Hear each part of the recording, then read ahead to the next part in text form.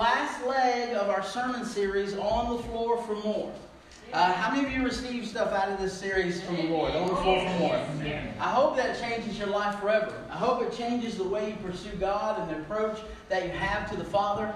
Uh, because this is not just something we want to end today. We want this attitude to continue all our, all, our whole life long of seeking the Lord and, and again, it's not necessarily a position. It's not about being on the floor. If you want to physically get on the floor in your house, that's fine. That's your own prerogative.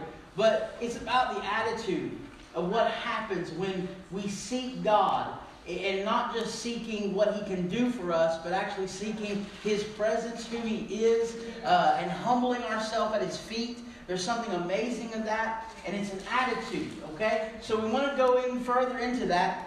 Now, the first sermon, if you weren't here, we started this four weeks ago. The first sermon we learned to be on the floor for more thanksgiving. We talked about the power of that. Our second sermon, we learned to be on the floor for more healing, about how God can heal us no matter what we're doing. Uh, last week, we learned to be on the floor for more revival. Revival, more life, more power. Amen. And this week, to wrap it up, we're going to learn how to be on the floor for more freedom for more freedom. And, and I promise you, we're going to read a story today that I, you'll probably see a side of this that you never saw before. Uh, at least I've never seen it before. I've preached on this message, on this title, uh, this grouping of scriptures, I should say, many, many times. But God showed me something totally different that I, I'm excited to share about with you this morning because I, I believe it can change the way you experience God. It can change the way you experience God and enhance the way you experience God. So, with that being said, let's dig right into the Word. Luke chapter 7, verse 37 through 50. Now, that's a big chunk of Scripture, so you're just going to hear me read for a little while. It's on the PowerPoint if you don't have your Bible with you. Luke chapter 7, verse 37 is where I'm going to start. This is what the Bible says. It says, And behold, a woman in the city, which was a sinner, when she knew that Jesus sat at meat in the Pharisee's house, brought an alabaster box of ointment, and stood at his feet behind him weeping, and began to wash his feet with tears, and to wipe them with the hairs of her head, and kissed his feet, and anointed them with the ointment. Now when the Pharisees which had uh, bidden him saw it, he spake within himself, saying, This man, if he were a prophet, would have known who and what manner of woman this is that touches him, for she is a sinner. And Jesus answered and said unto him, Simon, I have somewhat to say unto thee. And he said, Master, say on. There was a certain creditor which had two debtors. The one owed five hundred pence, and the other fifty. And when they had nothing to pay, he frankly forgave them both. Tell me therefore, which of them will love him most? Simon answered and said, I suppose that he to whom he forgave most. And he said unto him, Thou hast rightly judged. And he turned to the woman and said unto Simon, Seest this woman? I entered into thine house, thou gavest me no water for my feet but she hath washed my feet with her tears, and wiped them with the hairs of her head. Thou gavest me no kiss, but this woman since the time I came in hath not ceased to kiss my feet. My head with oil thou didst not anoint, but this woman hath anointed my feet with ointment. Wherefore I say unto thee, her sins, which are many, are forgiven, for she loved much. But to whom little is forgiven, the same loveth little. And he said unto her, Thy sins are forgiven. And they that sat at meat with him began to say within themselves, Who is this that forgiveth sins also? And he said unto the woman, Thy faith hath saved thee. Go and go in peace. Amen. Everybody needs more freedom. Everybody. It doesn't matter who you are or where you're going.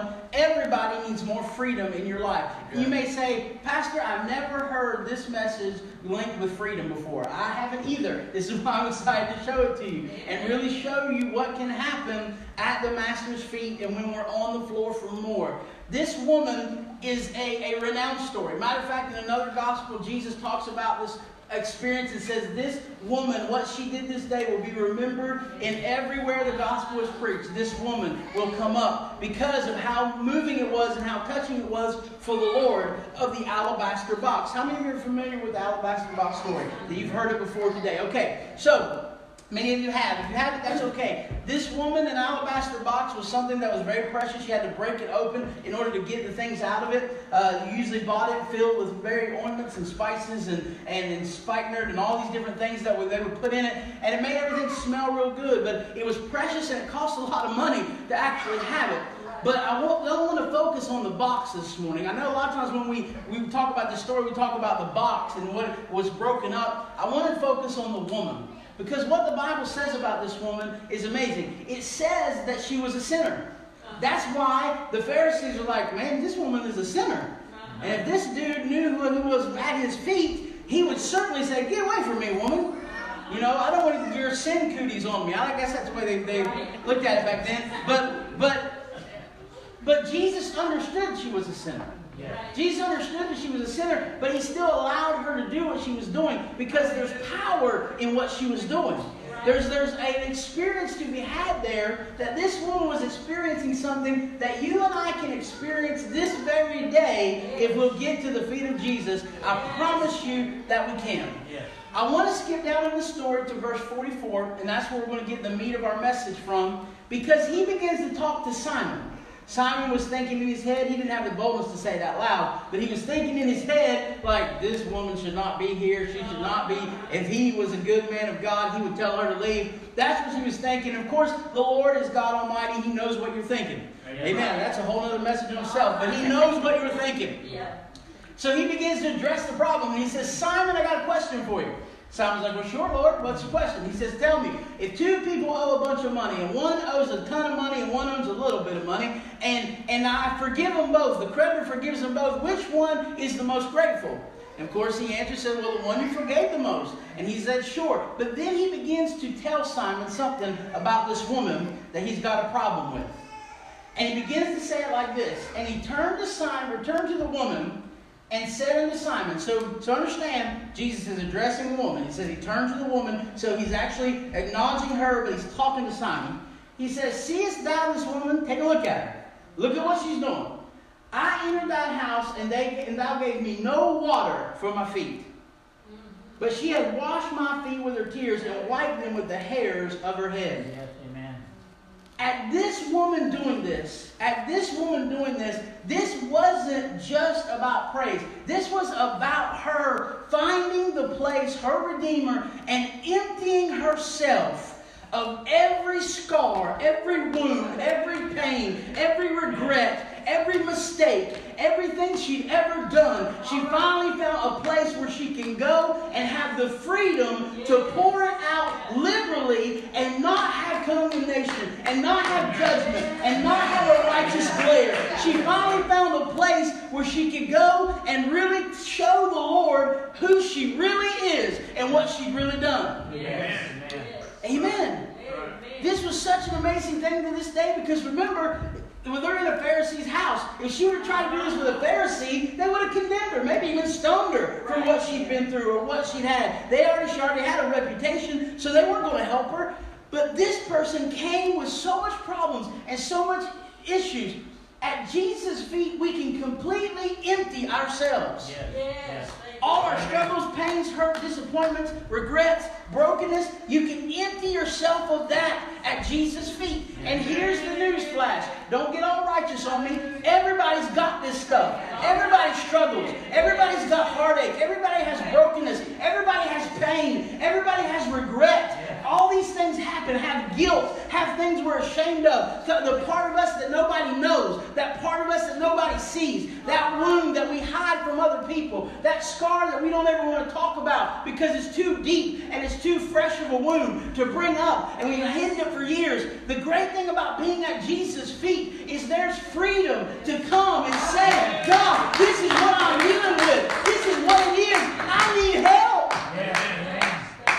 Man, that'll set you free. Amen. How many of you have ever found, found a private place to cry? Because you don't want anybody else to see you broken. Amen. Right. A private place. Somewhere we know. And see, that's human nature. That's in our flesh.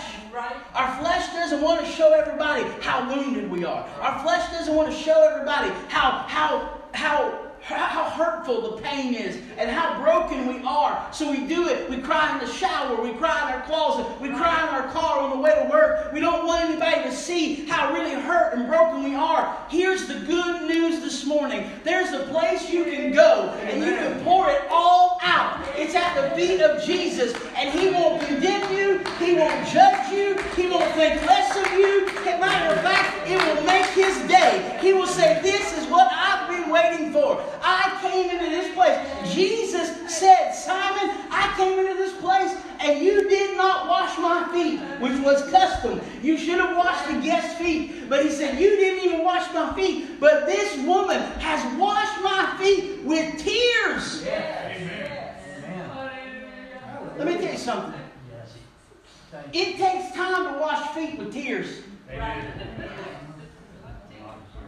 Go home and wash your feet and see how much water you use. Pour it out and see how much it's going to take. It wasn't a drop or two. It wasn't a little, I'm sorry. And no. When Jesus said she washed my feet with her tears, this was pain coming from a very deep place.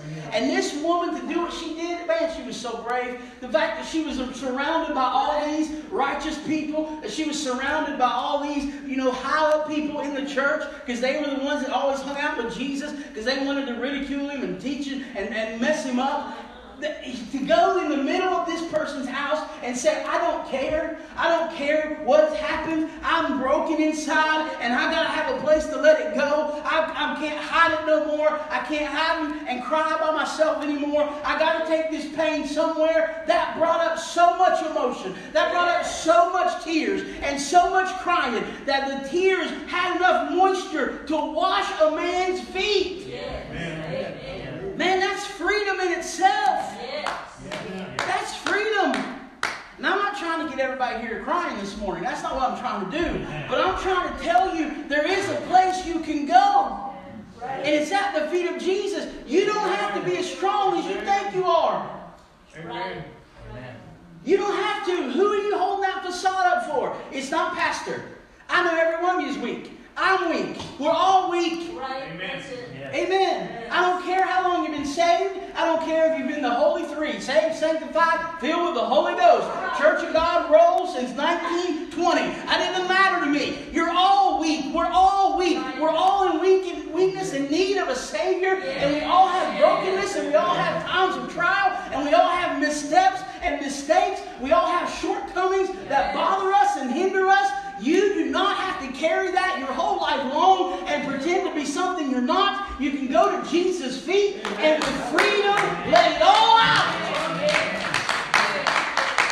Let it come from a deep place to where you're, when you get up, you're all cried out. Amen. Amen.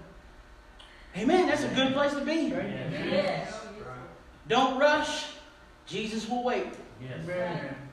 Don't rush through it. Jesus will wait. A lot of times we think the Lord is so busy that He won't just let me sit and cry on Him for a while. That He gets irritated with it. I'm tired of your crying. I want some worship. Tell me how good I am. That's not the mind of Christ. That's not the mind of Christ at all. Jesus will sit there and wait till you cry out every last tear. Yes, till you can't cry no more, until you got every bit of brokenness out. I've, I've poured myself out so many times to Him that I lose words. I don't know even what is wrong, but I know something's wrong. I can't say it, God. I feel it. I feel there's something wrong. There's something wrong. There's something off. There's something wrong with the way I walk and talk. My mind. There's something off about me, God, and I don't even know how to define it, God. But I'm here at your feet, and I'm just going to cry out until you hear my cry. Yes. Yes. Jesus will wait. Don't rush through it, man. We live in a society where we want to rush through everything. Right. I just started. Some of you already good looking at the clock. Amen. Don't rush it. No.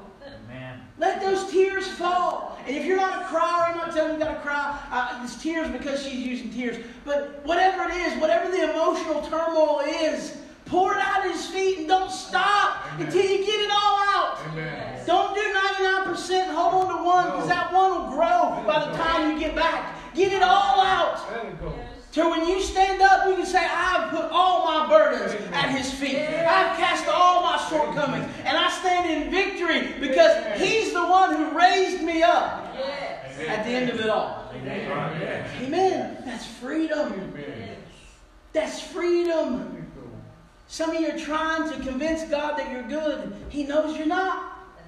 And I'm not trying to badmouth this. The Bible says there's not one that does good. There's not one that's righteous.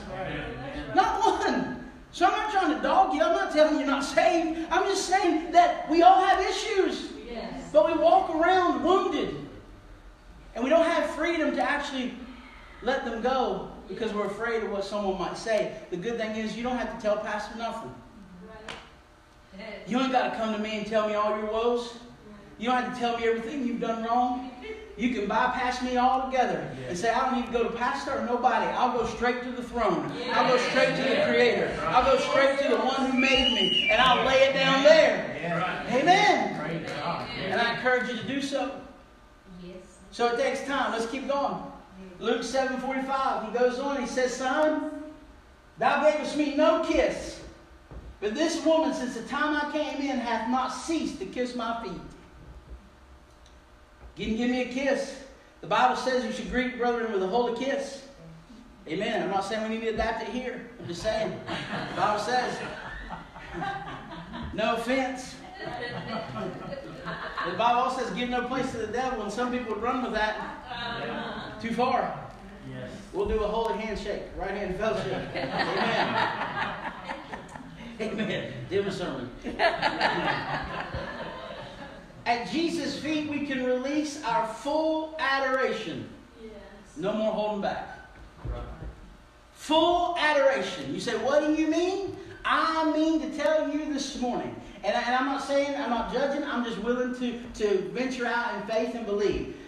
When we were here and we were singing and we we're praising, some of you wanted to get louder than you did. Some of you wanted to sing bolder than you wanted to. Some of you wanted to get more involved. You wanted to raise your hand. You wanted to do more, but you held back because you're like, well, I don't want them to get mad. I'm not a good singer. I don't want them to hear me. I don't want to get out of place. I just want to get here. Or maybe your heart wasn't in it at all.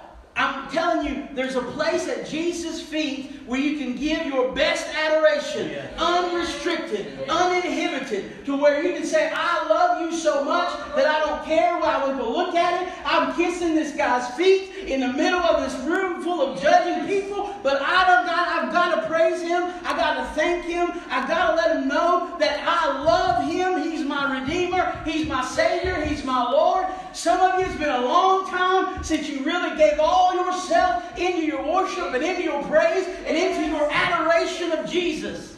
Amen. Amen. Amen. You know, you know why? Because we've been waiting on the tune, we've been waiting on the words, we've been waiting on stuff that don't matter. What matters is your heart. Yes. When this woman came and she fell down at his feet, all of a sudden the disciples didn't get up and start playing her favorite song. All right, Amen. What song she like? Okay, we'll sing it. Because she really needs the worship right now. Amen. Amen. Y'all got quiet on right there. That's okay. Amen. Amen. When you have adoration and love for somebody, you realize it's not about all the other stuff. Right. Amen. How many people have been here and you're married 20 years or longer? How many of you know now that Valentine's Day isn't always about the roses and the, and the, and the, and the chocolate and the heart-shaped right. junk and all the pink and frilly stuff? It's nice, but you know what? It's just another day for people who are in love. That's right. Amen. Amen. Amen. It should be. Now that stuff matters when you're newlyweds and it's just there and all will surprise them with the flowers and and whatever. You, we, we want to get in there because it's new and it's fresh and, and want to impress. But when you have a relationship for a while, it. I don't need a day to look over at Heather and say, honey, I love you. I love you. I, I, I love you. I'm here. I don't need all that stuff to prove my love. Amen. Amen. Amen. I don't have to write on Facebook every three days how wonderful my marriage is. Hallelujah. When I see that, I'm thinking, who are you trying to convince, me or you? Amen. Amen. Different sermon. Okay, let's go. There's freedom at Jesus' feet to stop holding back. Amen. Stop holding back your best praise. Stop waiting for the, everything to align to give Him your best praise. You know why you need to give Him your best praise? Because you're alive right now. Because you've got breath in your body. You shouldn't hold back for a special service or a special song or a special moment. Every moment with the Lord is special. Every moment with Him deserves our best praise, our best adoration. To be able to say, I love you, God, with all my heart, even when we lose an hour of sleep, even when we get have to come to church and everything's about working against us. You deserve my best praise. Man, there's freedom at the feet of Jesus to just let loose and give Him your best. And your best doesn't have to look like everybody else. I'm not telling you you got to be a shouter or a runner or a hopper or a skipper. I'm just saying you give your best. Whatever your best is. If you like to shout, then shout. If you like to clap, then clap. If you like to cry, then cry. Whatever it is, you just give your best. You give what you got to Him because you say, I'm not holding back another day, another hour, another moment. He, you don't understand what He's done for me. You don't understand how far He brought me out of my personal hell. You don't know the demons He's run understand where I've been, and I ain't got time to mess around with a cutesy song or a cutesy thing. I got to give you my praise right now because I love you. Amen. That's praise. That's worship. That's adoration for God who set you free. Amen. At Jesus' feet, we don't have to care what everybody else thinks. Praise the Lord. This will set you free. You ain't got to impress nobody here. Amen. Hallelujah. You ain't got to impress me or none of the leadership here. You don't have to impress anybody. We're here for an audience of one, and that's God the Father. We're here because of Him. And I'm not going to sit and ridicule your praise. I'm not going to sit and ridicule your adoration. I'm not going to sit here and say, well, they shouldn't be acting like that. I'm not going to be a Pharisee. I'm not going to be like Simon and say, well, they, if they knew what they were doing all week, then they would just cast them right out of the church. Amen? Amen? Don't be a Simon. Don't be a Simon. If someone comes in and they say, I'm here to kiss the feet of Jesus today, then let them do it. Just let them go to town. Let hey, anytime you want to shout, shout. Anytime you want to clap, clap. Anytime you want to come to the altar and pray, you go to the altar and pray. We don't have a schedule. We don't have a regimen. We are structured, but understand God Almighty runs this thing. It is His house, and you are His children, and we have liberty where the Spirit of God is. Amen. There's freedom to give Him your best. Freedom. Amen. Freedom, yes, Lord. Amen. Freedom of praise. I'm telling you, once a few people get freedom, it breaks out like wildfire. Amen. It breaks out. Because all of a sudden you're not looking at who's looking at you. Right. Amen. Amen. That's right. Amen. I, I, got, I can preach on that more, but I'm going to move on. Luke chapter 7, verse 46. Jesus said, She washed my feet with her hair, or with her tears, and dried them with her hair. She kissed my feet since I got here. Now it says this My head with oil thou did not anoint. But this woman hath anointed my feet with ointment. You say, what do you mean? How are we going to anoint Jesus? Well, I'm going to teach you something today. What anointment? Hmm. What anointing? If you had to base it at the basic fact, what it means to be anointed of God. At Jesus' feet, we can enter into perfect unity with God. Perfect unity with God. Say, why? How do you come to that conclusion? Because in the Bible, when everything's are, we understand there's certain things. We understand that oil is, is talking about the anointing. We talk about different things like that. Listen to what Psalm 133 compares ointment to and anointment. Listen to this. He says ointments. What do we mean? Listen to Psalm 133, 1 through 3. It's the whole psalm. Behold how good and how pleasant it is for brethren to dwell together in unity. It is like, It says it is like, it's talking about that oil, that anointing, that unity that brethren have. It is like the precious ointment upon the head that ran down upon the beard, even Aaron's beard, that went down to the skirt of his garment as the dew of Hermon, and as the dew that descended upon the mountains of Zion. For there the Lord commandeth the blessing, even life forevermore. Amen.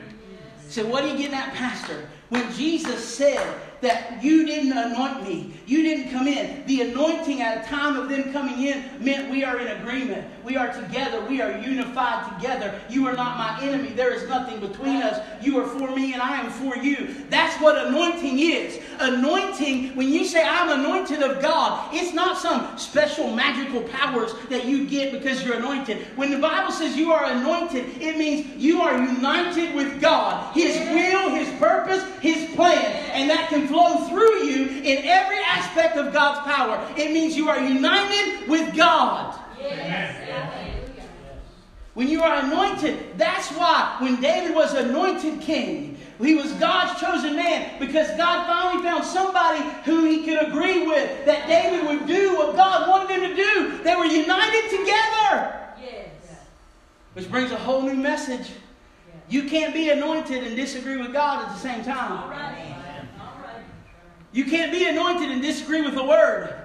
You can say it all you want, and you can rub yourself down with Wesson oil from head to toe if you want to, and have every preacher in the state lay hands on you. That's not how the anointing comes. Anointing comes when your heart is in total unity with your Father and with the Lord and with the gospel and with the message, and when your hearts are one, anointing power flows.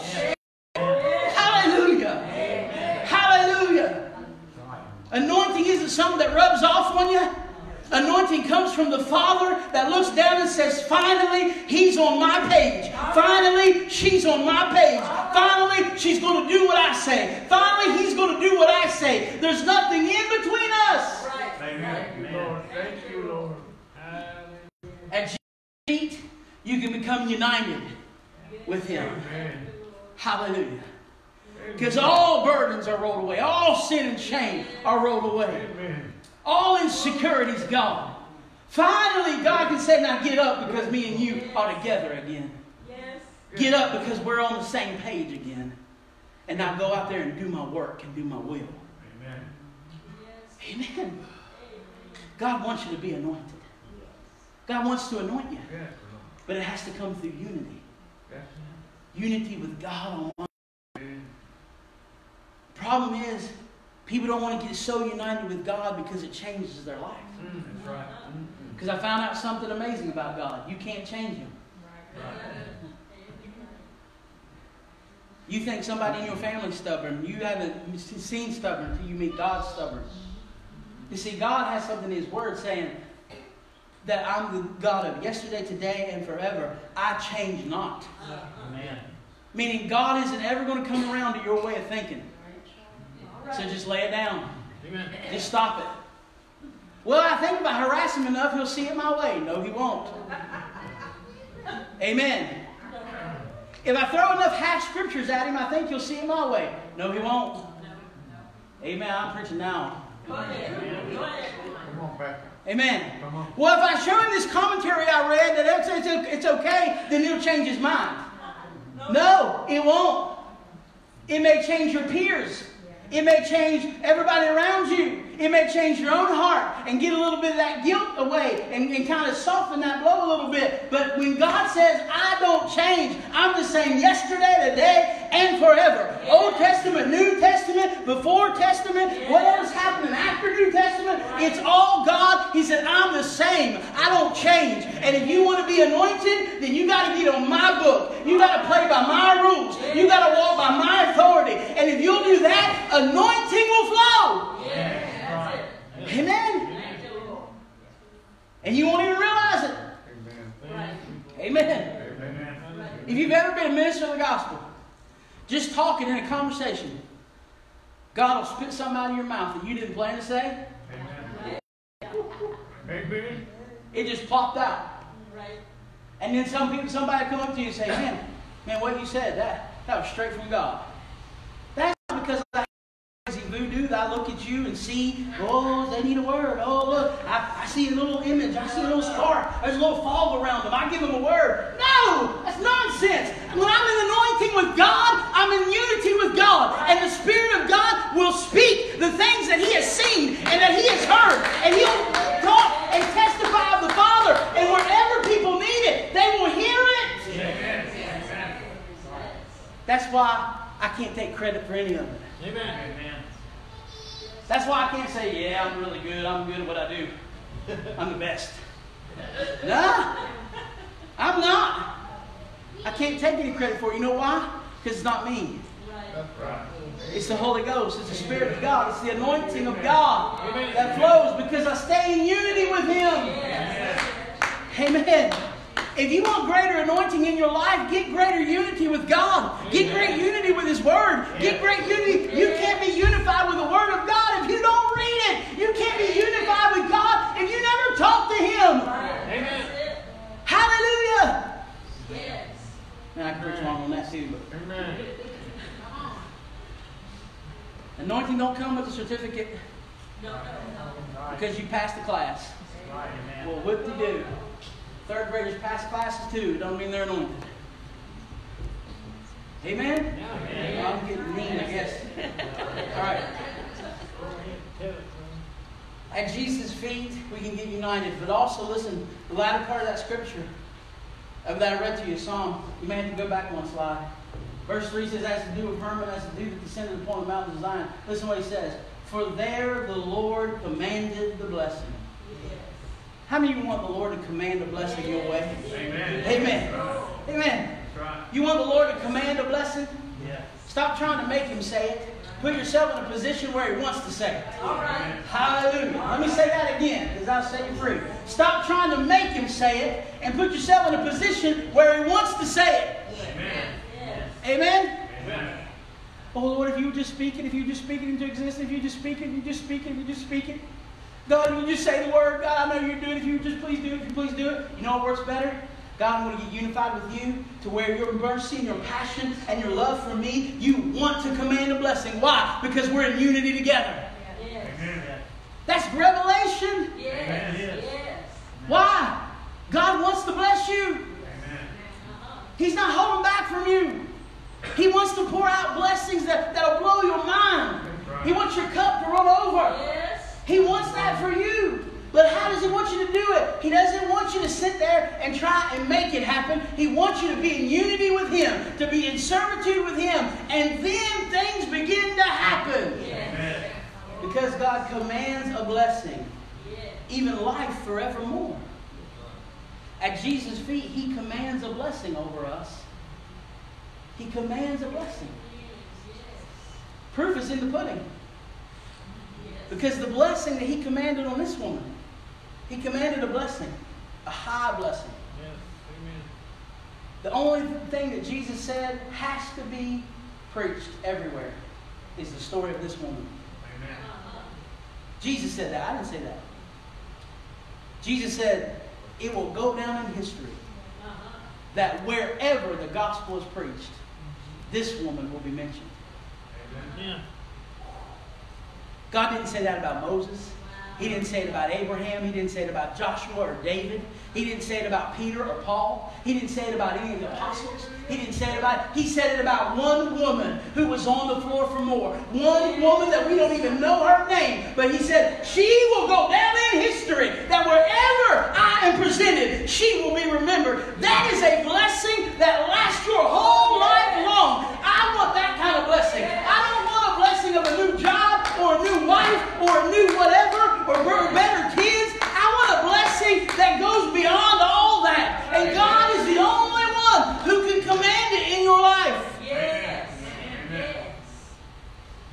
When you get to His feet and you get united with Him, He begins to command blessings over you that are far beyond what you could ever imagine. And it's not because you deserve it, it's because of His great love for you. And the fact that your approach to Him was full of freedom. Thank you, Lord. Freedom to be who you are. Thank you, Lord. Freedom to worship Him like you want to worship Him. you, Lord. Yes. Amen. And finally, freedom to get up with a blessing in your pocket. To say, This is with me. This is going with me, not just, it ain't going to stop once I die, it's going forever. This woman's blessing is still in effect. That's amazing. Sister, will you come play me some music? I've got water up here, didn't even drink it. Oh. I want God to command blessings in your life. I want God to make your cup overflow with blessings that go beyond just the material, the materialism of this world, but it does so much more for your whole family, Yes. for your whole bloodline. Yes, That God can command a blessing. yes, Lord. I'm, I'm reaping that. Yes. I'm reaping that. My dad told me a story. Let me tell you a story. This is kind of funny, but my dad told me when I was young. Because I was one of those kids that was like, why we always got to go to church? We're, we go to church more times than anybody. So I was a pastor's kid. We were there every every day. It seemed like we were at the church, right? Right. Sunday morning, Sunday night, Wednesday night, Tuesday night prayer meeting, Thursday night, you know, youth meeting, whatever it was, choir practice. We had to go to everything. And I was like, why do we got to do this so much, Dad? Amen? Yeah. I'm stepping on toes, I can feel it. Why do we got to do this so many times? He told me, he said, let me tell you how, he gave me a, a little story. He said, let me tell you how all this is why we go to church. And he started way, way back. He said, my, I think he said great, great, I don't know, don't quote me on that, but one of our ancestors in West Virginia, he said, when he was doing his thing, he was an open warlock. If you don't know what a warlock is, it's like a male witch. And he said his claim to fame was is he would go around and he would curse people's cows. He wouldn't give milk. Now you say, well, that's kind of crazy. No, not back in his day that he lived. If your cow stopped giving- giving milk, you were going to hurt, hurt. Because a cow wasn't something you just go down the road and buy. And it wasn't to the time where milk was just everywhere available. He said, so he would go around and he would use witchcraft, he would curse people's cows, and they would stop giving milk or they would die. And he was known as a big warlock. Yeah. That's in my family tree. He said, but one day, your grandmother decided, I'm going to go to church. And I'm going to go to church. And she got, got into church and she got saved at a little old church of God. And her husband got saved, and he became a preacher of the gospel. And they had a little boy, and he was a preacher. And then they had a little boy, and he was a preacher. And my dad became a minister. And lo and behold, at the time I wasn't a minister, but he's like, you know what? Now I can testify I'm a minister. All right. It changed the whole dynamic of our tree. Amen. It changed the whole flow of our family. Why? Because one person said, I'll go to his feet. One person said, I'll go cry out. One person said, I'll go and I'll lay down and I'll seek Jesus. And it changed the whole dynamic. I'm living a life right now that I'm, I think I'm like sixth, fifth generation. My children are sixth generation of being in the gospel and being in the house of God. That is an amazing testimony. I don't say it to brag. I'm just telling you, God can change your whole dynamic. God can do it. All it takes is for you to get to his feet. And the blessing your family can reap won't just die when the loved ones die. It'll keep on going. Hallelujah. I preach today not because I'm anointed, but because my family has been anointed. And that mantle has passed from decade to year to year to person. And I'm looking forward to whenever my time comes, that it'll pass to one of mine. Not because they have my last name, but because they get to a place where they're in unity with God. So that the blessing can flow. That's what I want for your life. That's what God wants for your life. So with every head bowed and every eye closed, no one looking around, I want to ask you this morning, is there something you need to pour out? Are you holding on to a hurt? Are you holding on to a pain or struggle, an issue? What's that thing that you cry about in private that you don't let nobody else see? What's that thing you never talk about because it's just too hard to talk about? You need to stop holding on to it and you need to take it to the Lord's feet. And you need to just let it all out however you want to. If it's through tears, that's fine. But if it's just through communication, you need to tell the Lord. You need to speak it and say, tell the Lord, Lord, I don't want this anymore. I'm tired of dealing with this. I'm tired of struggling with this. I'm tired of the wound and the pain and the hurt. And you can finally have freedom this morning to actually let it go and give it to Him. Yes. But maybe you say, Pastor, I've already been there. I've done that. Well, maybe you just stuck on the second step. Maybe you've been like, man, I want to really just let go and worship God. I really want to just get over that thing of people seeing me, and I really wish I could just let go and give God my best. You can do that this morning too. And you say, well, Pastor, I'm already there too, then let's get to the third part. Are you in unity with God? Are you anointed? If you want anointing in your life, if you want the anointing of God, like I said before, it doesn't come with oil. It doesn't come with man made things. It comes when your heart is unified with God's. Jesus prayed it this way before he went to the cross. He said, Father, I have a request that me and them, talking about us, would be one as you and I, Father, are one. That's unity. That's anointing. That's anointing. Jesus was known as the Messiah, which is the anointed one, meaning above all. And we talk about anointed, but he that's what the Messiah was. The one who's in perfect unity with the Father. The anointed one, the Messiah. He said, God, I want us, my bride, my church, to be one, the same way you and I, Father, are one. He was praying for anointing. I want them to be anointed as I'm anointed. Jesus said it often. They asked him, What are you doing here? Why don't you do this? Why don't you do this? And he said, I came to do what the Father has asked me to do. He said, That's the one thing I came to do is to tell you what the Father is. He was anointed above any man without measure. Amen. Man, I feel the Lord in this place. If you're here at any one of those three, you don't have to let me know. It's not about me. It's about you and God right now. If you're one of those three and you say, yeah, and you could be all three, that's okay too. If you're here and say, Pastor, you're talking to me. I feel it in my heart. I feel the Spirit giving me that urge as you're talking to me, and this one's for me, then I want you to do something for me. I just want you to step out where you are and make your way down here.